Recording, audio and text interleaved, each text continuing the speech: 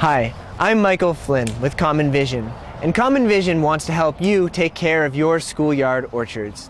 Some of our goals in the schoolyard orchard is for the students to be able to harvest the fruit themselves without the use of ladders and without having to climb large trees.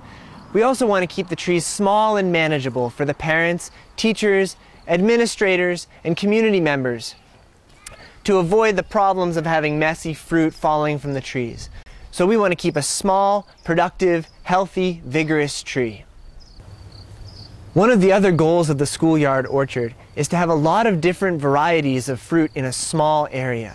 So rather than just having one apple that harvests only in September, we could have four or five different apples that harvest in June, September, October, November, so that students get a wide variety of tastes and experiences.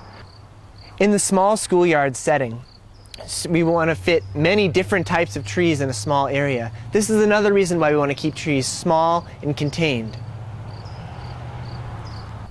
In the next few years, as Common Vision develops this web video resource, we're going to bring together master gardeners and pruners to teach us some strategies of how to maintain our schoolyard orchards.